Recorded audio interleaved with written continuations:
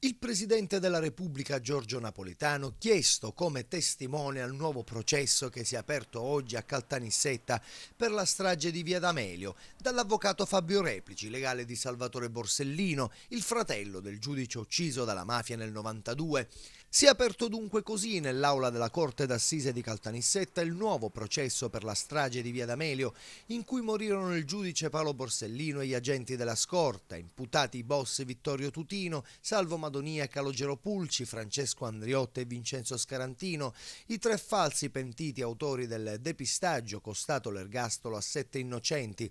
La procura rappresentata dal capo dei PM Sergio Lari e dall'aggiunto Domenico Gozzo e dai sostituti Stefano Luciani e Gabriele Paci ha illustrato la sua lista testi che prevede l'esame di 300 tra pentiti, politici, esponenti delle forze dell'ordine, magistrati e familiari delle vittime